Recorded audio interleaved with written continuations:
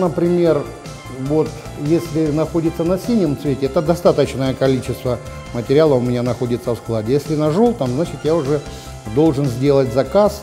Когда уже подходит красное, как критическое, мне уже в обязательном порядке его нужно получить.